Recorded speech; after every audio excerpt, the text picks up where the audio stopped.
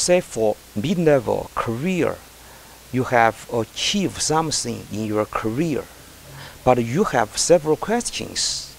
Have you got the recognition you feel you deserve?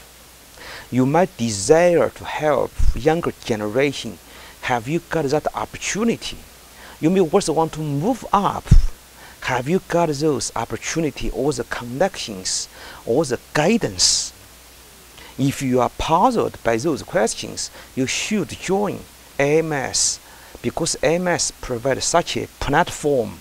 But there is one catch you have to be proactive. Everybody, like myself, is so busy.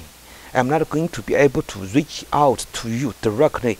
Instead, if you reach out to anybody within AMS, the membership, they will be more than happy to talk with you, engage you, give you some advice, and also provide opportunities for you to help others.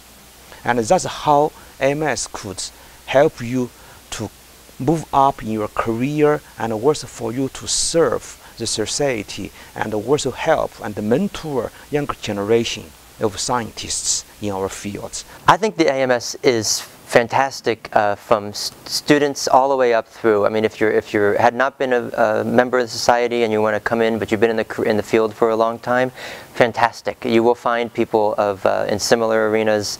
Uh, you'll find colleagues that you can partner with. Uh, you can come to these conferences and actually meet the people that uh, you know from papers that you're reading. Uh, you can collaborate on work. And in this day and age where everything happens so quickly, and there's Twitter and Facebook and things are just up, it's so nice to get to meet a person face to face and uh, talk to them individually uh, in person.